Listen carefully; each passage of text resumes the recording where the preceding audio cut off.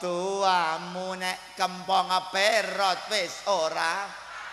Salawat Mas. Salli wa sallim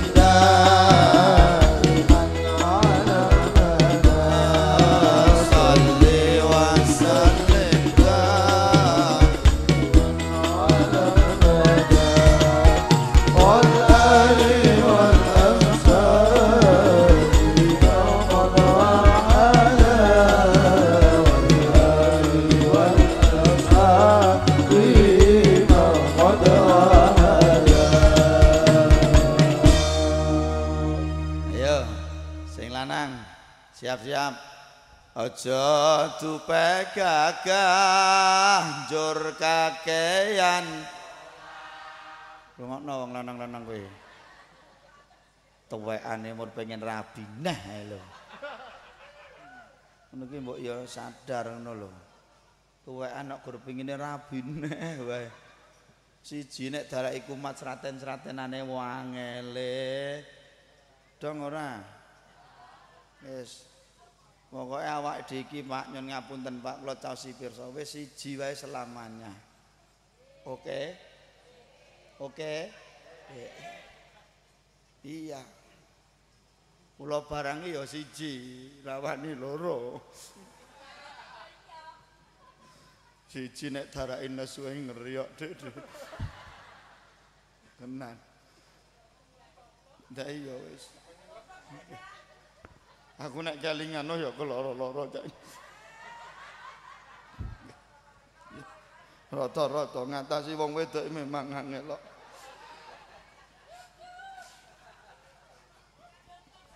Lah iya. Nek jujur ya nesu. Nek aku ngapusi ya ya dosa. Lah piye angger dandan apa-apa ditemlek ngene rai. Terus tekon ayah aku ayu ora. Aku arep ngomong elek ya wedi. Nek tak ngomong ke ayu kok kaya ngono.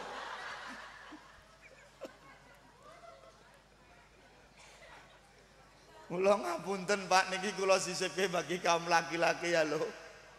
Halo. Wis. Pokoke awak dhewe anu ngalah wis. Wong wedoki sifate loro. Mesti menang. Mesti bener.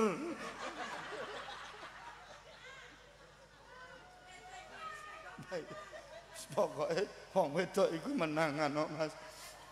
Ora ana dalam sejarah sejak Nabi Adam sampai zaman kita ana wong lanang kok iso ngalahke wong wedok ira. Pak tentara ki seragame gagahe kaya ngono, Pak tentara. Kuwi ambak-ambak karo bojone ya wedi. Pak tentara kuwi tembake nek dikekke sing wedok mejen. Betul nggih Pak Babin sange. Kula wis sing kelas balik wedi ya. Nggih. Tapi ingat Ibu, ingin kami kula wakili nggih Pak.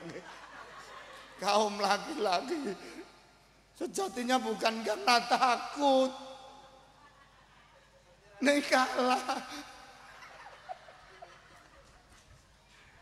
Memang perempuan itu memang luar biasa itu. Memang luar biasa. Nabi Adam alaihissalam tunduk sama Siti. Fir'aun tunduk kali bojone. Punya aturan, pokok ono anak lanang pateni. Tapi ono bayi kok dicekel Asia, rawani demok bapak. Betul. Nek ngomah barang ya ngono, barang mbok singkir ke bojo, sing iki aja meneng ae kowe. Betul. Betul. Kula memang wanita itu memang kalau saya literasi yang saya dapat Pak tentara satu-satunya makhluk tergolong ras terkuat itu wanita Pak. Wirano sing ngalahke Pak. Tepuk tangan. Hidup Bang Wedok. Hidup Bang Wedok. Hidup Bang Wedok. Rungokno wong lanang-lanang kuwi. Wis ngono wis pesenku kuwi. Aja sok wani karo wong wedok. Nggih. Nggih. Kula pernah ngeyel pisan Pak Tentara, kula ngeyel pisane kon turun jaba. Kula akhirnya nggih manut turun jaba.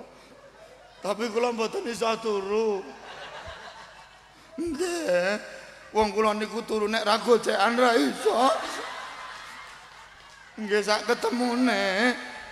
Nggih. Sok tungkak, sok kempol, sok pupu. Pokok waton empuk tak goceki.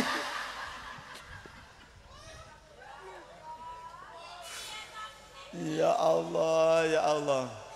Aja tupekakan jur kakean. Aja tupekakan jur kakean. kagayan rangi pada uripe ora. Kagayan rangi pada uripe ora. Salawat mas. Salli wa sallim.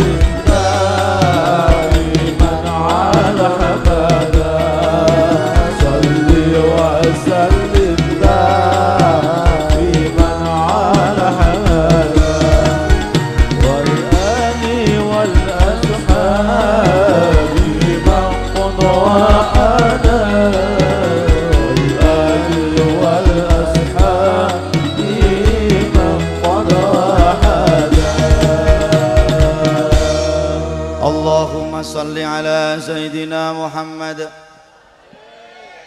Jadi pesan saya itu pemuda-pemudi remaja masjid ayo dimamurkan masjidnya. Ngeten nggih? Sergap sing nang masjid cah nom menjadi penyemangat bagi yang lain. Maju dan tidaknya masjid ini tergantung pemuda-pemudinya. Masuk? Terakhir Bapak Ibu satu wilayah satu tempat ini akan hebat apabila. Halo nek ana cah nom lanang cah nom wedok niki penting ya Bapak Ibu. Jenengan gen pirsa niki penutup.